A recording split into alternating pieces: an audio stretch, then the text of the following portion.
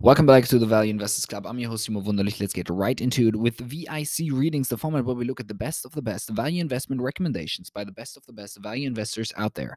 Today we have uh, Postal Savings Bank, ticker is 1658. Uh, price at the point of filing is $4.61.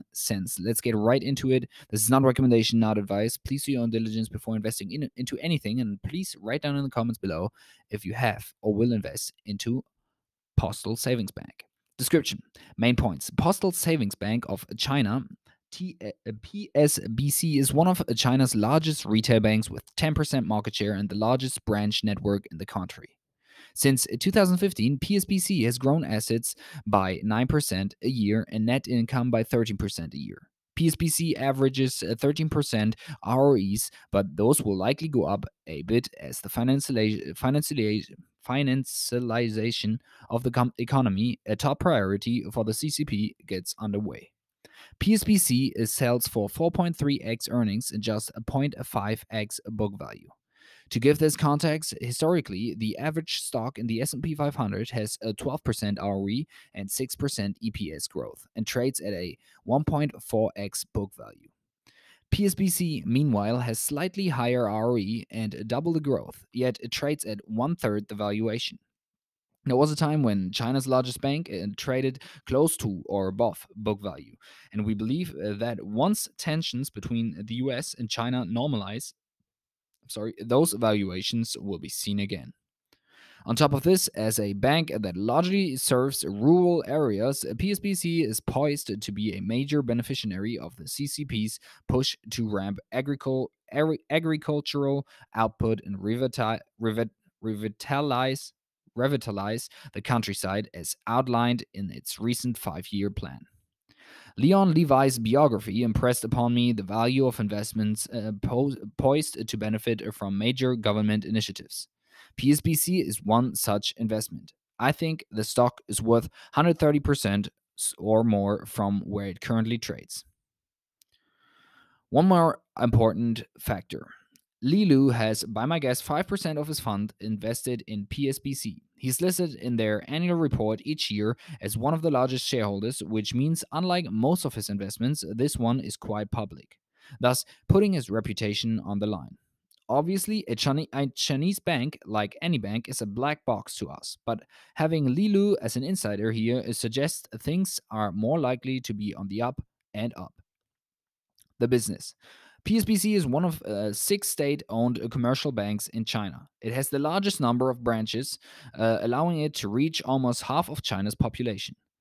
Uh, the bank is irreplaceable due to its extensive pre- uh, presence in underbanked rural areas. However, all this comes with a major catch 80% of its branches are owned by its parent company, China Post Group and PSBC must pay a fee to China Post for all deposits collected through the branches.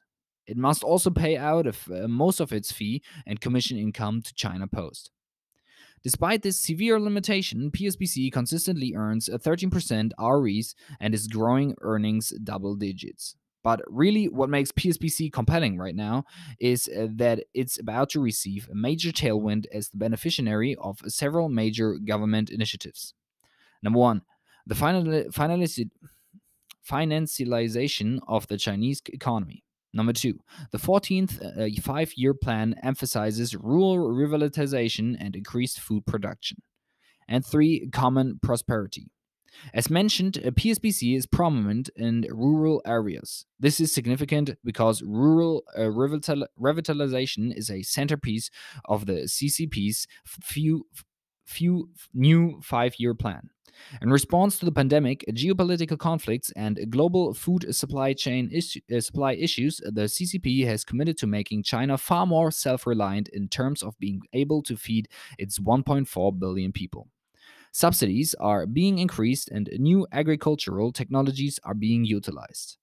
Per Tang Renjian, uh, China's Minister of Agricultural and Rural Affairs, we must produce and store more grains as much as possible.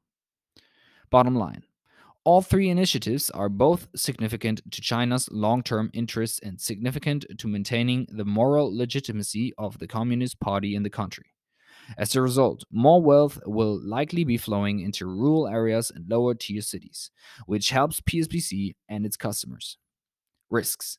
The biggest risks uh, facing PSBC are number one, Evergrande slash real estate uh, contagion, number two, potential US sanctions, and three, recession in China.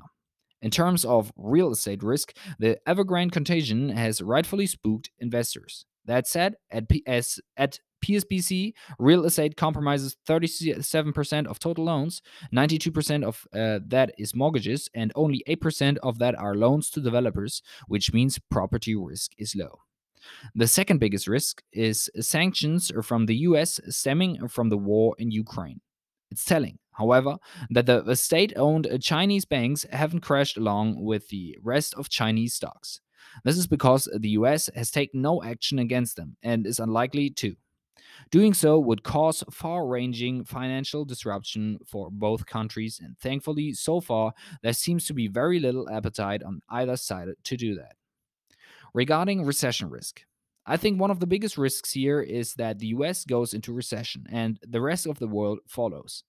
China is such a different country from what I was from what it was even 10 years ago, and that we can't really tell and rely on what's happened historically here to guide us.